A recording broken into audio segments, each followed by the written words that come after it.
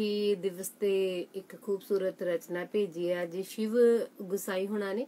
ਤੇ ਆਓ ਉਹਨਾਂ ਦੀ ਆਪਾਂ ਰਚਨਾ ਸੁਣਦੇ ਉਸ ਰਚਨਾ ਤੋਂ ਬਾਅਦ ਵਿੱਚ ਫੋਨ ਕਾਲ ਵੀ ਤੁਹਾਡੇ ਨਾਲ ਸਾਂਝੀਆਂ ਕਰਾਂਗੇ।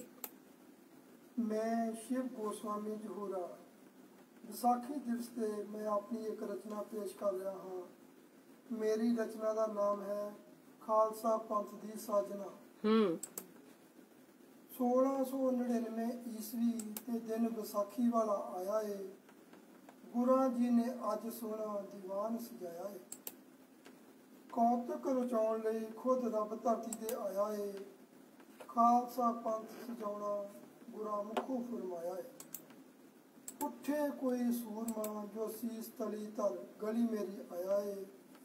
ਸੁਣ ਫਰਮਾਨ ਦਇਆ ਰਾਮ ਆਸੀਸ ਚੁਕਾਇਆ ਏ। ਧੰਨ ਭਾਗ ਮੇਰੇ, ਮੇਰਾ ਸੀਸ ਤੁਹਾਡੇ ਕੰਮ ਆਇਆ ਏ। ਬਾਹੋਂ ਫੜ ਦਇਆ ਰਾਮ ਨੂੰ, ਗੁਰਾਂ ਤੰਬੂ ਚ ਲਿਜਾਇਆ ਏ। ਖੂਨ ਨਾਲ ਰੰਗੀ ਤਲਵਾਰ ਨੇ ਪੂਰਾ ਬਾਹਰ ਫੇਰਾ ਪਾਇਆ ਏ। ਆਓ ਕੋਈ ਸੂਰਮਾ ਜੋ ਮੇਰੇ ਪਿਆਰ ਚ ਨਹਾਇਆ ਏ।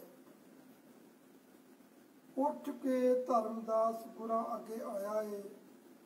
ਅੱਜ ਤੋਂ ਮੈਂ ਸੀਸ ਆਪਣਾ ਤੁਹਾਡੇ ਲੈ ਕੇ ਲਾਇਆ ਏ। ਵਾਰੀ ਸਿਰ ਹਿੰਮਤ ਰਾਏ ਤੰਬੂ ਕੋਲ ਆਇਆ ਹੈ ਮੋਹਕਮ ਚੰਦ ਨੇ ਵੀ ਖੁਦ ਨੂੰ ਗੁਰੂ ਲਿਖੇ ਲਾਇਆ ਏ ਸਾਹਿਬ ਚੰਦ ਵੀ ਗੁਰਾਂ ਨੂੰ ਸੀਸ ਭੇਟ ਕਰਨ ਆਇਆ ਏ ਗੁਰੂ ਜਾਣੇ ਤੰਬੂ ਚ ਜੋ ਕੌਤਕ ਰਚਾਇਆ ਏ ਸਜਾ ਕੇ ਪੰਜੇ ਸਿੰਘ ਗੁਰਾਂ ਇਲਾਹੀ ਰੂਪ ਬਣਾਇਆ ਏ ਅੱਜ ਤੋਂ ਨਿਆਰਾ ਇੱਕ ਪੰਥ ਸਜਾਇਆ ਏ ਸਭਨਾਂ ਦੇ ਨਾਮ ਨਾਲ ਸਿੰਘ ਗੁਰਾਂ ਲਾਇਆ ਏ। ਇੱਕੋ ਬਾਟੇ ਵਿੱਚ ਅੰਮ੍ਰਿਤ ਸਭ ਨੂੰ ਛਕਾਇਆ ਏ। ਸਿੰਘਾਂ ਤੋਂ ਹੀ ਪੌਲ ਲੈ ਗੁਰੂ ਚੇਲਾ ਅਖਵਾਇਆ ਏ। ਪਤਾ ਨਹੀਂ ਉਹ ਬਾਟੇ ਵਿੱਚ ਕੀ ਗੁਰਾ ਪਾਇਆ ਏ। ਸਵਾ ਸਵਾ ਲੱਖ ਨਾਲ ਇੱਕ ਇੱਕ ਨੂੰ ਲੜਾਇਆ ਏ।